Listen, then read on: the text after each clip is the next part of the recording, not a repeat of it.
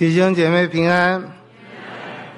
嗯，今天保罗在结束他的罗马书的时候，里面的内容跟我们过去所听到的，从第一章开始所讲的有类似的地方。因为我们讲的罗马书讲的教会的信息，不管怎么讲，基本上我们都是在讲福音。保罗在讲我所传的福音，神能照着。我所传的，你所传的，历世历代教会所传的，正统教会所传的福音，那个福音是什么呢？那福音就是耶稣基督。保罗在讲福音的时候，就是耶稣基督。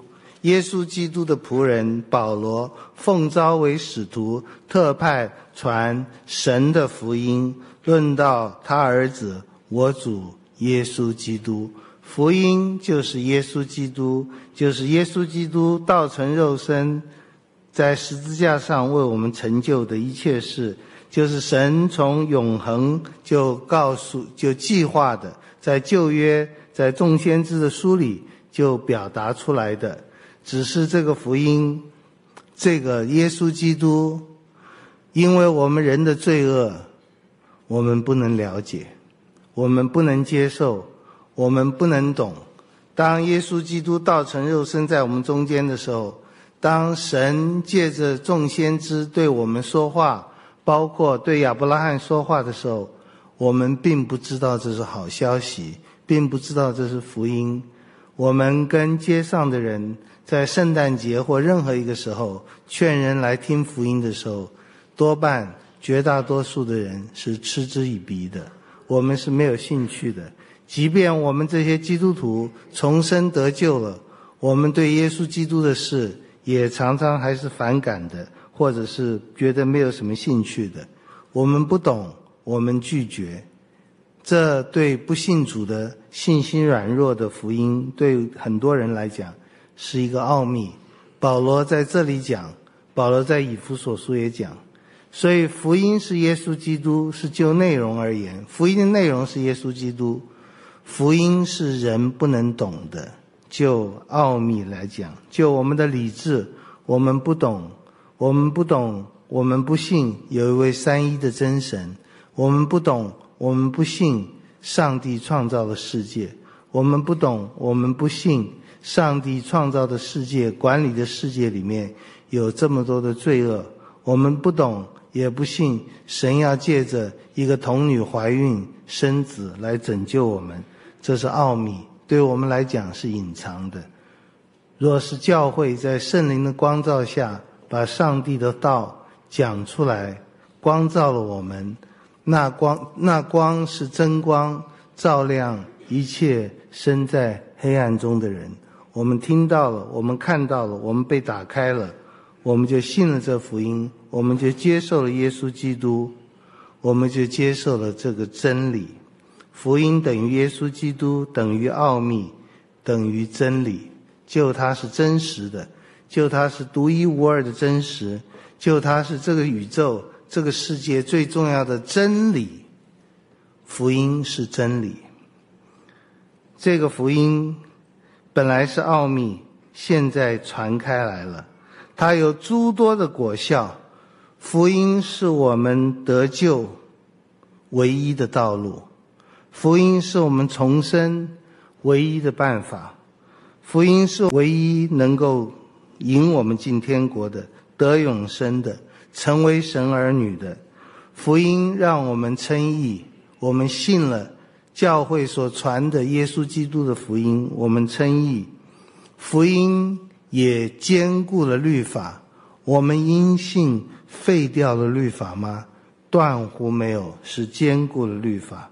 福音让我们在主里成长，福音最后带我们到荣耀里面。福音是非常有效的，包罗万象的。不过今天保罗也是我们今天的题目比较多、重要要讲的是福音兼顾了我们。福音让我们在动摇当中，福音让我们在风吹雨打中，福音让。历世历代，我们的周围的环境以及我们自己动摇的时候，福音让我们坚定起来，上帝的恩典让我们坚定起来。基督徒的生活，一方面是动态的，我们在成长，我们在扩张，我们在学习，我们在发扬上帝的恩惠；另外一方面，我们是静态的，我们不改变，我们像山一样，像磐石一样不改变。求神帮助我们，我们也很感谢主。我们会怀疑，会动摇，但是上帝的福音。借着教会，借着圣灵的工作，兼顾了我们。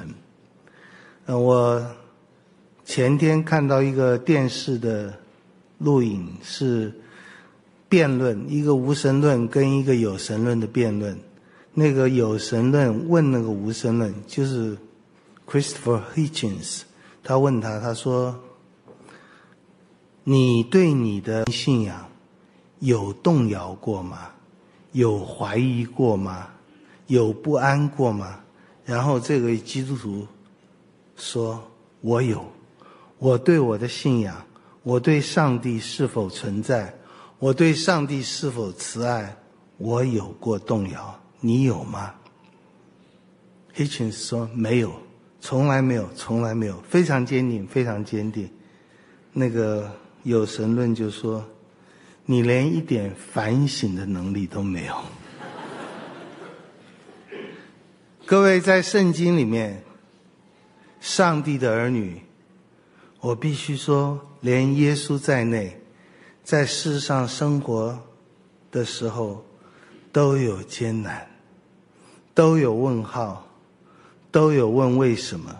我们基督徒希望是诚实的，我们基督徒的坚定。成长，通通是在风雨当中、动摇当中越来越坚定，因此我们也越来越高兴。我们并不是在自欺，我们的坚定成长也让我们越来越谦卑，因为是主扶着我们。我们不倔强，我们愿意被真理来改变。我们求主让我们越来越坚定，越来越坚固。只有靠着主。得救靠主，得胜靠主，称义靠信心，成圣也是靠信心，都是主。但是，如同我们多次讲过的，我们一切靠着主，并不等于我们是懒惰的，我们是不动的，我们是不思想的。刚好相反，我们越是凡事靠主，越是安稳在基督里，越是在基督里面要有安息。我们越有积极的行动，是神的恩典使我们积极，是神的恩典扶持我们在动摇中能够更加成长。今天我们看到这罗马书十六章保罗所做的事，以及他所提的人，都也是在兼顾彼此的兼顾，彼此的帮助。教会的生活很重要一个部分就是兼顾，互相的兼顾。我求主帮助弟兄姐妹，我们能够继续的彼此兼顾。当然，我知道我们常常是彼此的动摇、破坏、腐蚀。我们常常是像参孙一样，发出最大的力量的时候，是同归于尽的破坏。神怜悯我们。教会的稀奇，就是在这么多的软弱中，神继续说：地狱阴间的权势不能胜过他。我们感谢主，这些人物，这些教会里的多半绝大多数我们不知道的人物，他们也兼顾了保罗，也彼此兼顾。当然，我们也会伤受到伤害，彼此伤害。但是我们高兴的事就是。我们最后在主里是得胜的，过程也是会得胜的。我特别想到一个人，就是撒母耳记上二十三章十六节，扫罗的儿子约拿丹。我很想写的人物，讲的人物，一个是约拿丹。他怎么在这种困难中生活活下去？他有两个最爱的人。一个是他父亲，一个是大卫。在大卫记载约拿丹和扫罗死了以后，他写的那个公歌说：“扫罗和约拿丹活着的时候相亲相爱，死也不分离。不是很多父子能够这样。扫罗和约拿丹非常相爱，两个都是英雄。虎父没有犬子，犬虎子没有犬父，两个英雄，两个。”大卫说：“大英雄。”可是约拿丹活得非常痛苦，他的父亲对大卫莫名其妙的鬼父一样的仇恨，他一点都不能做什么。各位，我们很多时候都是这样，我们依靠主，主开路，但是我们依靠主，主开路，我们却。四面都是墙壁，我们四围四四面受困、受敌。基督徒不要做梦，我们活在现实的世界中，我们承认有艰难，我们的信仰可贵就在这里。我不知道约拿丹他如果有写日记，如果有做诗歌，他有没有像大卫那些呕心泣血的诗歌？主，我怎么办？感谢主，他不是在有路可以走的时候，他不是在解决他问题的时候，他去帮助别人。各位，你会看到很多的人。我希望我们每个人多多少少都是，我们并不是问题都解决了，我们伸出手来帮助别人。很多时候我们自己都自顾不暇，但是神的爱就激励我们。让我们关心，让我们爱人，不是多伟大的属灵人，就是我们这样的人。约拿丹在很艰难的时候，他去看大卫。他曾经跟大卫在分开的时候，圣经讲，大卫和约拿丹分开的时候，两个人抱头痛哭。大卫是哭得更厉害，因为大卫更没有地方可以走。他除了依靠上帝以外，我们除了依靠上帝以外，我们没有地方可以走，而我们并不是孤苦伶仃的孤儿。我不撇下你们为孤儿。我去会差圣灵保惠师来，所以我们的信息固然是我主耶稣基督，可是我们每次也都提到，不能忘记天赋，也不能忘记保惠师，安慰。鼓励，叫我们勇敢，叫我们有盼望，叫我们得坚固。虽然旧约还没有写清楚圣灵那么强强烈的提到圣灵，但是我们知道他能去，也是圣灵的工作。他往那树林里去见大卫，使他依靠神得以坚固。可惜了，圣灵没有告诉我们怎么。怎么对大卫安慰鼓励，使大卫依靠神得以坚固？不过不管怎么样，我再一次说，我们很希望我们周围，我希望你也是，我也是，我们是约拿丹。我们很多时候是大卫，但我们也能做约拿丹，靠着圣灵的大能，靠着那位保惠师。靠着圣灵保惠师给我们的心理的力量，刚强起来，我们能够对上帝的信仰、对良善的事坚定不移。那么那是约拿丹。约拿丹兼顾了大卫以后，当然又要走，又要离开。保罗再伟大的信，任何再伟大的聚会。天下没有不散的宴席，只有一个宴席是不会散的，就是将来我们在天上的，那会越来越精彩，越来越美好，但在这个时候会散的。保罗在结束的时候就写了十六章，十六章第一节、第二节，先是推荐，我对你们举荐我们的姐妹菲比。她是坚格里教会的女教会中的女执事，请你们为主接待她，合乎圣徒的体统。她在何事上要你们帮助，你们就帮助她，因她素来帮助许多人，也帮助了我。保罗花了一些篇幅来推荐他。我们知道，保罗非常可能是在间隔里写这封信，花了三个月的时间写这封信，然后他就去了耶路撒冷。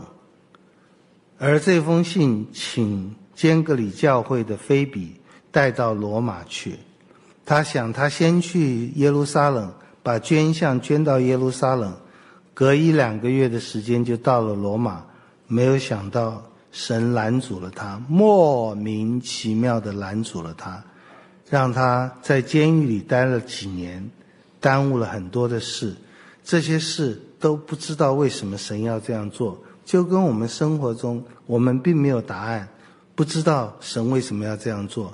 我们相信万事互相效力，很多时候那个万事，万事有效力是没有。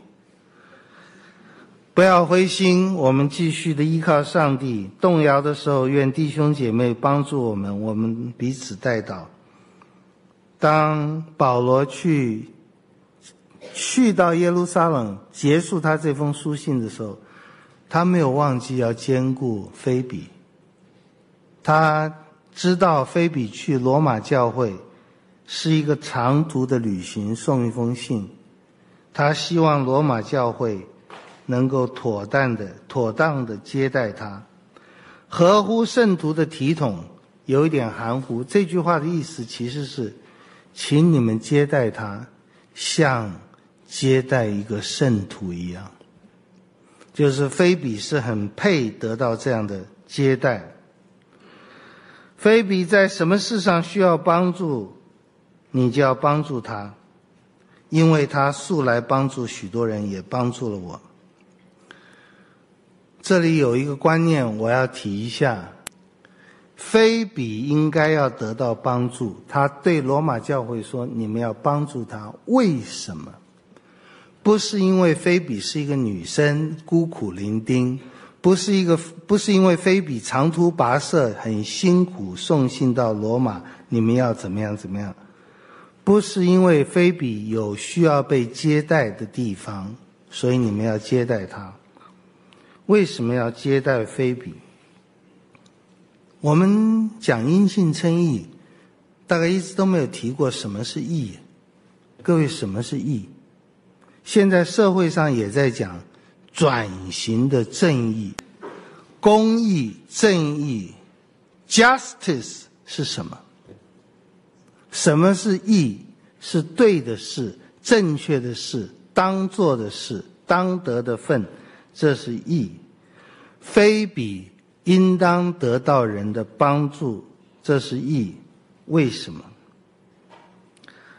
义。简单的说，现代人喜欢讲的是“我应当得到的”，那是义。其实应该还有一个部分，你应当得到的，以及你应当做的。你当做的是什么？做了，这合乎义；你当得的，得了，这合乎义。那我们现在不讲你当做什么，我们在讲罗马书的时候也提了很多，你当做。遵循律法上一切的要求，我们也说我们做不到，所以我们亏缺了神的荣耀，我们不义。因此，耶稣做成了我们跟基督的相信和相连，我们得到了义。好，这个部分我们今天不讲了。我们当做的我们做不到，那我们当得的呢？我们当得什么？什么是你当得的？这就是现在社会上，包括你在政治系、哲学系、社会学系常常听到的。我有权要得这个，要得那个，我有我的这个权那个权。这几十年，全世界大家都在讲 rights，权利、利益的利，我有权。那么你有权。我有我的肖像权，我有我的生存权，我有我的什么这个那个权利，声音都很大。不过我们要问，是什么东西让你有这个权？是什么东西让你有那个权？是什么东西让你有权做这个做那个？啊，我们流行讲的一句话：各取所需，各尽所能。大家都喜欢用，似乎也非常合理。各尽所能，我们再一次今天不去谈它。各取所需，你的权利从哪里来？我看到的流行的说法，这几十年都是从需要而来。我的需要 needs justify 我得到那个东西的 rights。我有需要，所以我应该得到。各取所需很合理，可是原谅我说。不合圣经。你需要一个东西，并不就证明你有权利得到那个东西。你需要一个妻子，不表示你有权利拿到一个妻子。你需要吃，不表示你有权利拿到别人的面包。各取所需，你有需要，你就有权利得到。很好听，但是并不恰当。我们得到什么东西，我们可以有权利得到什么东西，不是我的需要。加拉太书六章七节，不要自欺，神是轻慢不得的。人种的是什么，收的也是什么。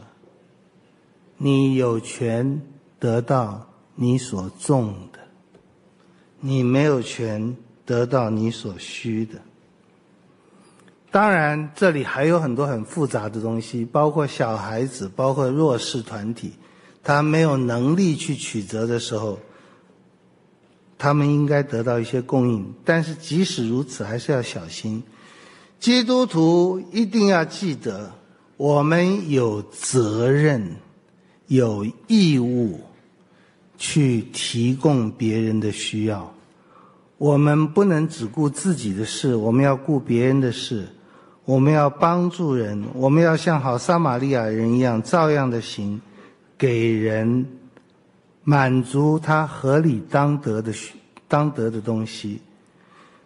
但是，你有责任去帮助人，不等于被帮助者有权利要求这项东西。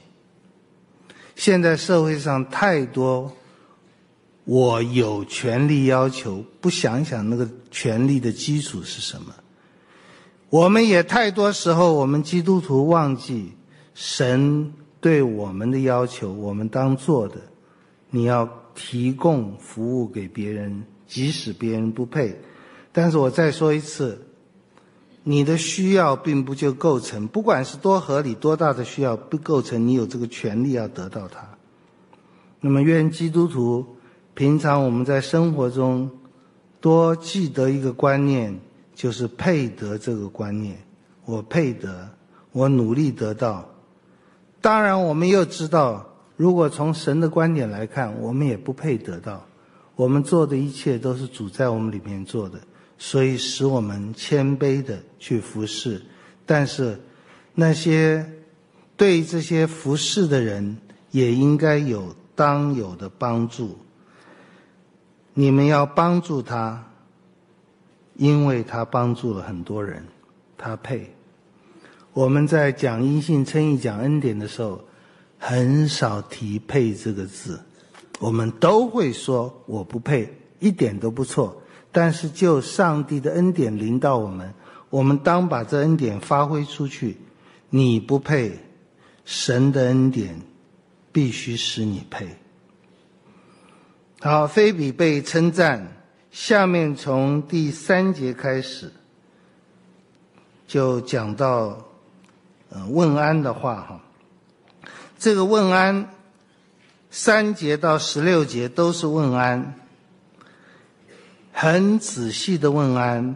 保罗没有去过罗马的教会，保罗没有去过，但他写信给他们的时候。显出他对这个教会有非常深刻的了解。他了解，我想了解的原因，也就是他过去不断的在为他们祷告。哎呀，我都想到我在信友堂这么久，我能叫出几个人的名字，我能对几个人的需要有了解。我们包括基督徒，包括牧者，我们在一起交通，说八卦可以说八个钟头，祷告祷告不到八分钟。我求主帮助我们，让我们对于弟兄姐妹，不是知道他的事。而是为他祷告。保罗知道他们的需要，保罗知道他们的长处。他这一段问安问了二十六个个别的单位，其中有九位是妇女，有三间家庭教会，有犹太人，有外邦人。一开始问雅基拉、百居拉的安，一直到最后，基督的众教会都问你们的安。我就不免有点好奇了，问安是什么？问安英文的翻译通常是 greeting，或者是 salute，问安。这里说问，其实原文也毫无问的意思，翻问安可能不恰当。我觉得比较好的翻译，当然这已经不可能了，大家已经习惯了。比较好的翻译或者那个意思是送安。赠送平安，或者祝安，祝你平安。如果要跟希腊文再连接起来的话，是送恩。我把恩惠、恩典送给你，借着这句话，把恩惠、恩典送给你。我祝恩，我祝福你能够得到恩典和恩惠。旧约就有很多。新约这句话是有代表性的。马太福音第十章十二节，门徒进到他家里去，要请他的安。那家若配得平安，你看又是配字，你们所求的平安就必临到那家；若不配得，你们所求的平安仍归你们。我们见到人，我们就问安，我们就说平安。犹太人，我们有的时候也晓得小龙，我们希望你能得到平安。旧约就有，新约的天使对玛利亚的问安，可能是最有名的。路加福音一章二十八节，天使对玛利亚说：“蒙大恩的女子，我问你安，主和你同在了。”这位女子啊，你是蒙了大恩。其实三句话都是问安。你是蒙大恩的女子，我问你的安。嗯，现在的问安最最普遍的就是早安，Good morning。大陆说早上好，我们说早安少一个字哈，Good morning。祝你有一个好的早上。下午 Good afternoon，祝你有一个好的下午。晚上祝你有个好的 evening。我们分开了呢。Goodbye，good 分开。Goodbye 是什么？Goodbye 是 God be with you。上帝跟你的同在，给你幸福，给你快乐，给你平安。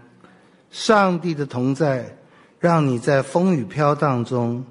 被坚固，问安是给你平安，问安是给你幸福，问安是给你上帝的同在和盼望等等许多。我们今天所讲的问安，包括我带着上帝给我的权柄恩典祝福你，我奉耶和华的名祝福你，我奉耶和华的名带着善意，希望你得到。美好的东西。我们今天问安，Good morning，早安，纯粹是一句口头禅，不知道有没有意思。说我希望你得到一些好处。可能 Good night 还有一点，因为睡眠睡着了很不安全，希望有平安。在罪恶的世界，福音带来平安，上帝的同光在带来平安，带来稳妥，带来安全。基督徒也带来，非比带来许多的帮助，也是兼顾人，也是给人平安。保罗现在也把这个带给人。愿我们也是彼此问安。保罗把平把问安的时候，这些人他都很认识。这雅基拉和百居拉在基督耶稣里与我同工。也为我的命将自己的景象置之度外，不但我感谢他们，就是外邦的众教会也感谢他们。各位，这些话都是很简单的话，都好像没有什么可以多说的。我心里是很感恩，让我看到这些话，问安感谢。我们又想到罗马书里所讲的了。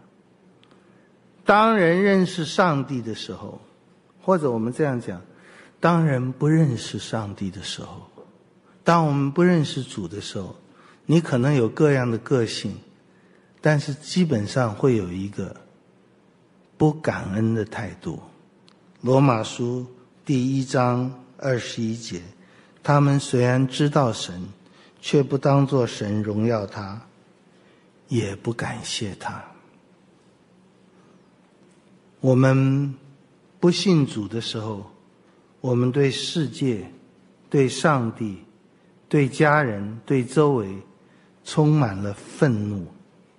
我们不感谢各位，我没有说愤怒不合理，但是如果只有愤怒，那就悲惨了。我承认，我们太知道了这个世界很可怕。我承认，我们太知道了。我们的家人，有人很可怕。我承认，我们的邻居、我们的同学、老师都有很可怕的时候。难道你不能承认你也很可怕吗？我们是有很多的事，我们希望能够能够不要被伤害，能够帮助人。但是太多伤害的事了。可是即使如此。基督徒还是有一个态度，我们感谢。如果不信主的人的特点是，他们虽然知道神，却不当作神荣耀他，也不感谢他。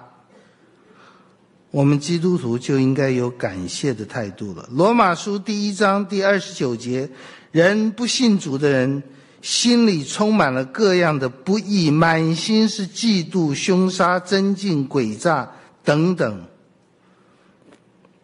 那么，当基督徒得到了上帝的恩典，我们不是常常感谢吗？我们有一个态度是感谢的，我们对上帝是感谢的，我们甚至对这个世界不敢说感谢，也有一种谢意。我们对我们周围的人也有一种，应该是这样。我不是说我们和稀泥，也不是我们颠倒是非。但是求主帮助我们，有感恩的心，在罪恶的世界有感谢的态度。不管是什么样的人，我们在上帝所造的世界存在了，我们就可以感谢，应当感谢。另外，罗马书也说，我们应该有个态度，就是常以为亏欠，凡事不可亏欠人，常以为亏欠。这个世界是。凡是亏欠人，常以为别人亏欠他。让我们感恩，让我们愿意用善良的态度来对人。如果不是不断领受恩典，这些话都是假话，这些话都是假的、空的大话，没有价值。但是如果我们知道从福音里知道。上帝对我们是何等的好，我们就会很积极的、真实的，像耶稣对那个被鬼附的人说：“你回到你家里去，告诉他们，主为你成就了何等大的事。”你说主没有为我成就什么事，你活在世上，你能生活到现在，你能认识主，主成就了大事。我们心中要常有感恩的态度，把上帝的恩典分享给别人，问安。嗯，神的同在，问安带来神的同在，提醒人神与我们同在。当神与我们同在的时候，神的祝福也就临到。最好的例子是约瑟。而圣经里面旧约其实讲了很多个，耶和华与亚伯拉罕同在，与以撒同在，与雅各同在，与摩西同在，与约书亚同在，与大卫同在。但是最有名的是约瑟，我们可能都记得这句话：耶和华与约瑟同在，他就百事顺利，并不是耶和华与他同在，他就一帆风顺，他不一帆风顺。耶和华特别与约瑟同在。圣经提两件事，一个是他做奴隶的时候，一个是他做囚犯的时候。耶和华的同在没有免去牢狱之灾，牢狱的无妄之灾；耶和华的同在也没有免去做奴隶之灾。倒是我的印象是，约瑟做宰相以后，圣经没有讲耶和华与他同在。啊，我不是说我们做宰相以后神就不同在。只是神的同在，不是让我们不碰到灾难，是让我们能够度过，而且得胜的度过。但是这个同在，我们又需要解释一下了。神与人同在，就有好事，恩典就来了，祝福就来了，我们的信心就坚固了。神不是无所不在的吗？对的。我们的基本信仰是神无所不在、无所不能、无所不知。当我们强调他无所不在的时候，我们会说神在天堂也在地狱，神也跟魔鬼同在，也跟任何一个东西同在。神的同在如果要成为我们的祝福，必须有一个条件：人那个人渴慕他的同在。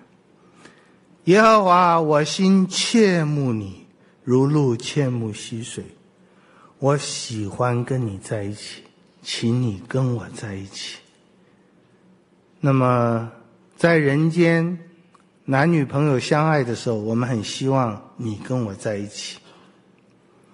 在人间，当孩子小的时候，很希望父母跟他在一起，他就不哭了，他就不闹了。求神帮助我们渴慕神的同在，这一点，摩西做的最好，摩西最有这个样子。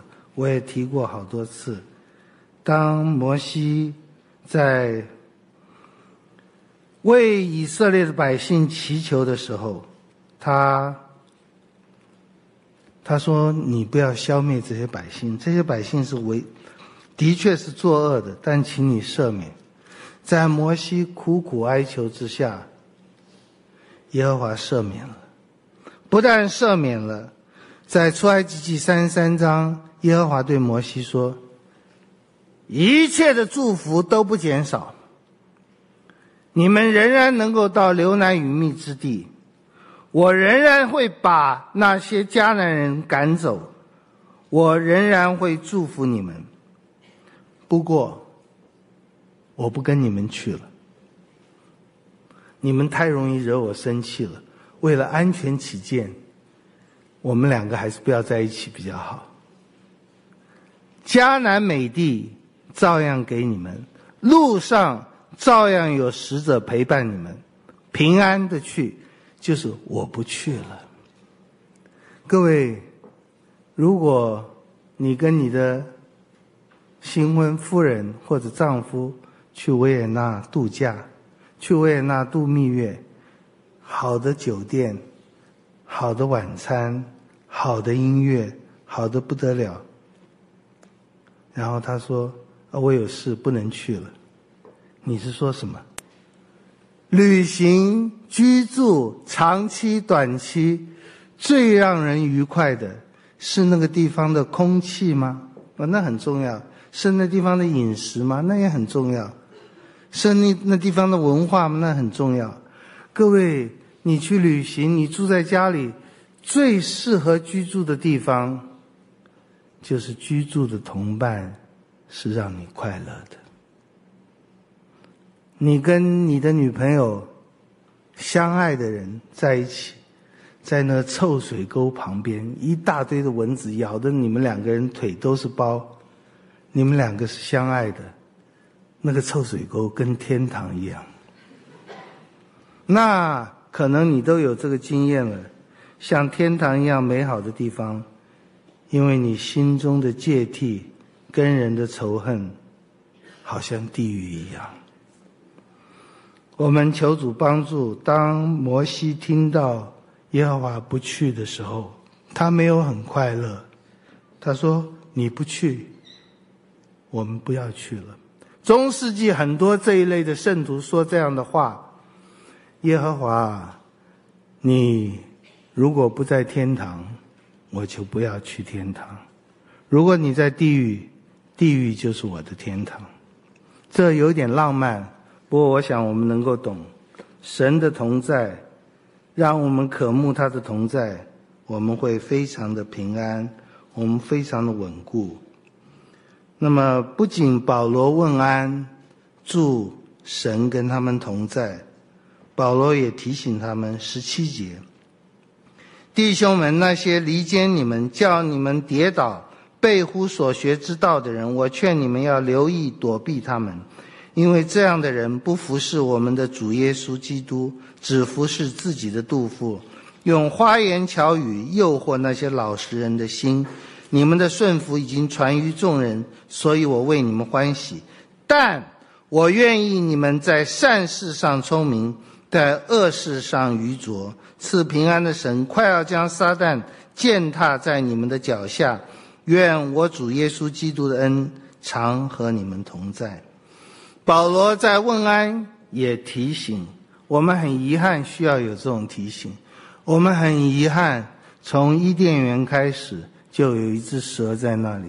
我们很遗憾，耶稣的十二个门徒里面有一个是出卖他的。我们感谢主，将来在新天新地再没有不安的人了。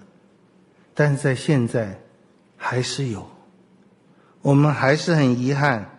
如果教会要稳固、要坚定，不仅我们正面的要继续传讲真道，负面的，我们需要提防那些传讲假道的人。我们需要提醒，我很稀奇这句话很少人引。你们的顺服是非常好的，为你们欢喜。但是我愿你们在善上聪明，恶上愚拙，也就是。恶人的诈骗集团的话，不要顺服。我们求主，让我们能够分辨，能够坚定。愿神与我们同在。二十一节，与我同工的提摩太和我的亲属路求、耶孙、索西巴德问你们的安。我这代笔写信的德丢在主里问你们的安。那接待我也接待全教会的该由问你们的安。城内管银库的以拉都和兄弟瓜土问你们的安。保罗先问安，再提醒，再问安，这都是感情很丰富。这里其实像梁山伯祝英台的十八相送，再讲再讲，再见。你们有这个经验吗？你所爱的人跟他挥再见，实在是不想挥，实在是希望有一根线连着。魂断蓝桥就是断掉了，我们不断，我们继续的问安，神与你也与我们同在。那么这些问安最后的结论是神能兼顾我们，我们感谢主，神不只是兼顾我们，神让我们成长，神让我们欢乐，神让我们有平安，神让我们彼此扶持，道成了肉身住在我们中间。神让我们仍然在他的保护之下经历艰难，而所有的艰难对我们有益处，患难生忍耐，忍耐生老练。我们感谢主，愿我们继续彼此纪念，在主里坚固、坚定的扶持。你扶持我，我扶持你。你为我祷告，我为你祷告。我们低头，天父，我们谢谢你。我们谢谢你的恩典和慈爱。我们谢谢你用你全备的智慧和爱，在引导你的教会。你的确不撇弃我们做孤儿。你拆下你的宝会师，你赐下你的教会。你让我们在世等候主再来的时候，我们传福音，我们到地极使万民做你的门徒。我们也像启示录说的一样，我们在这么长的日子，我们像新娘子打扮自己，装饰整齐，迎接我们的新郎有一天要来接我们。我们是带着迎接新郎的心，在等候你，在彼此兼顾。我们何等的喜乐，有盼望。我们何等的欢喜快乐，因为以色列人曾经像荡妇等候他的情夫一样，在主的恩典之下，我们动摇的心坚固。我们爱我们的上帝，不但你爱我们，你使我们爱你；不但我们爱你，你使我们彼此相爱。看呐，弟兄姐妹和睦同居，何等的善，何等的美！我们感谢赞美你，奉耶稣的名祷告，阿门。愿神赐福大家。